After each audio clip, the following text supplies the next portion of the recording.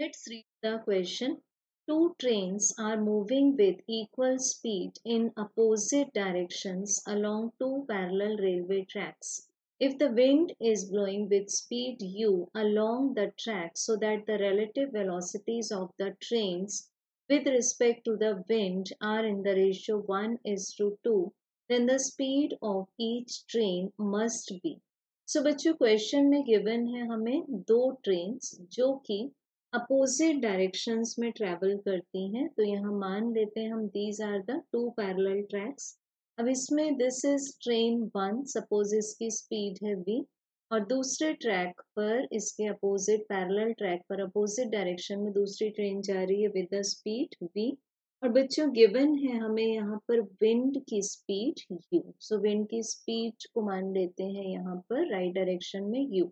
अब बच्चों गिवन है हमें कि relative velocities of the trains with respect to the wind are in the ratio one is to two तो इसको मान लेते हैं v one is to v two is equal to one is to two अब consider करेंगे हम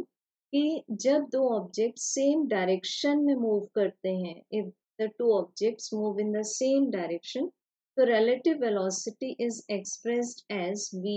minus v इनको vector form में ले लेते हैं तो this is the relative velocity of first object with respect to second और अगर दो ऑब्जेक्ट्स अपोजिट डायरेक्शंस में मूव करते हैं तो यहाँ पर हम relative velocity of first object with respect to second object को एक्सप्रेस करते हैं v one vector plus v two vector so इसको suppose v one two dash से एक्सप्रेस कर देते हैं। अब बच्चों, हमें फाइंड करना है यहाँ वेलोसिटी ऑफ़ ट्रेन्स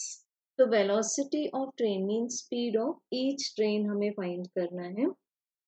तो सबसे पहले लेंगे हम relative velocity of the train, which is moving in the same direction of the wind. मतलब हम इसको मान लेते हैं फ़र्स्ट ट्रेन और इसको मान लेते हैं सेकेंड ट्रेन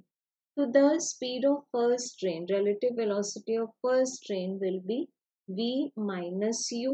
and अब हम लेंगे सेकेंड ट्रेन की relative velocity with respect to wind तो इसको हम एक्सप्रेस कर देंगे v टू से.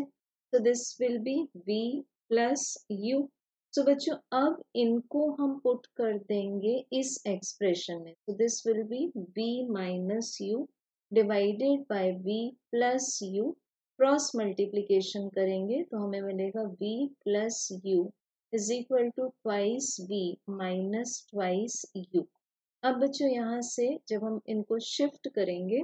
तो हमें क्या मिल जाएगा? This will be minus of v तो इसको कंसीडर कर लेंगे v this is equals to thrice of u magnitude consider करने के बाद तो इससे हमें करेक्ट आंसर मिल जाएगा for the speed of each train in terms of wind edge option number A thank you